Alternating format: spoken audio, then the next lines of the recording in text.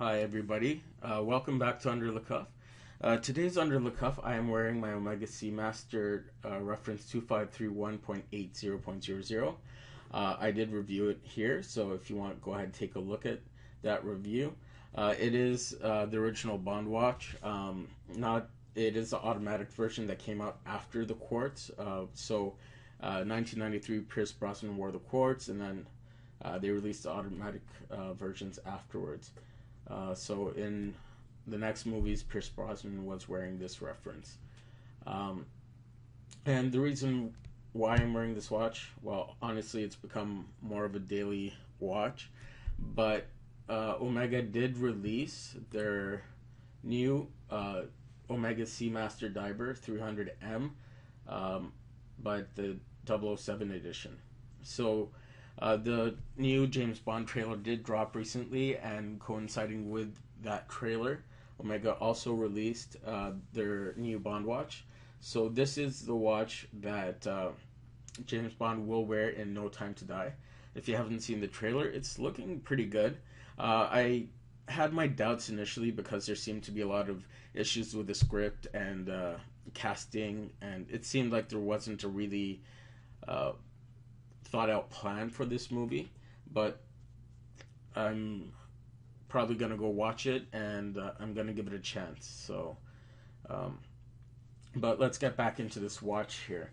So, they did release this watch, and first reaction is, I love that faux patina.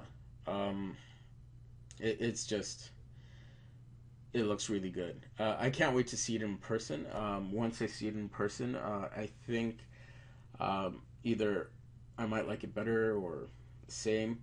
Um, it, they foregone their their uh, Omega Seamaster bracelet for a mesh bracelet here. What that is pretty cool. Um, I don't know how I feel about that as well. I'd like to try it on before casting my judgment on it because if we uh, scroll down further on their site, um, it does say it is uh, their unique design. Uh, let's take a look at the price here. Ooh, although I love the watch, I don't love the price. Uh, it's eleven thousand five hundred Canadian without taxes. Um, yeah. Um, it to be honest with you, even though it's a titanium watch, it's a Bond watch as well. Um, I, am not entirely sure if I'd pay that much. Um, I am a Bond fan, but I don't think um, I'd just go out and buy this. Especially because if you take a look at Rolex uh, steel sports models, appreciate uh, for the most part, or they stay the same. Uh, with Omegas, um, if you take a look at them on the used market, they do depreciate in value. So I'm not entirely sure if I'd spend that kind of money on this one new. Uh, some of their other um, Seamasters, the ones that came out and or announced in tw- in Baselworld 2018, uh, those are uh, half the cost, um, and they look just as nice. But uh, let's go ahead and take a look at the case back here. Um, pretty cool case back 007 up here. Um, from if we scroll down, they'll uh, talk about what these numbers actually mean. Uh, 62 is the year I believe Doctor No came out. Um, we'll we'll scroll down. I think I read that there as well. Uh, but it also looks like it comes with like a watch fold, so that's pretty cool. I think um, probably too bad we can't see what's on the inside. Uh, but it should come with a tool uh, a secure place to keep your watch. Um, maybe room for another strap.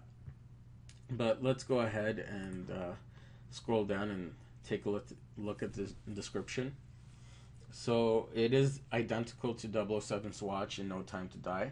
It's 42 millimeters. Um, it's strong and lightweight. It's a grade two titanium sports. Um, yeah, a brown tropical aluminum bezel. Really love that bezel. Um, Yeah, so right here, engraved on the case back is a series of numbers which follows the exact format for genuine military issue watches, including the number 62, which refers to the year of the first, very first James Bond film, Doctor No. It is slightly slimmer than the standard divers or Omega Seamasters that they've released. Um, I wonder what that thickness is if. Uh, too bad they don't give us that information, the technical data. Uh, and they have the coaxial master chronometer movement 8806, which is uh, really nice in-house movement by Omega. So let's just go ahead and take a look at.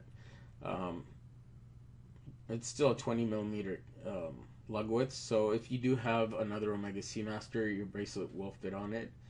Uh, so that's pretty cool. Um, water resistance, everything's the same. Um, nothing really changed there. Uh, they do have a bunch of strap options. Uh, let's just take a look. Uh, this is a beige polyester strap. Uh, I went through them quickly here, and they are all NATO's. Um, to be honest, I'm not sure if, if I'd purchased any NATO's from Omega for this watch. Uh, they're I kind of like the bracelet. I like the mesh bracelet, and I do like the Omega Seamaster bracelet as well. Um, and let's see if there's anything else down here. Yeah. So um, let's go ahead and take a look at the Seamaster line, I guess.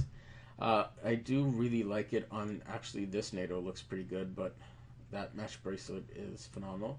Uh, here's another Bond Watch uh, Seamaster.